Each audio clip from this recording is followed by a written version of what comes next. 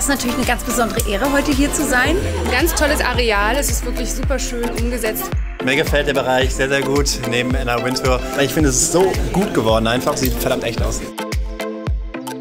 Ich weiß gar nicht, wo ich mich am liebsten aufhalte, wobei diese Schminkspiegel sind schon echt was ganz besonders Tolles.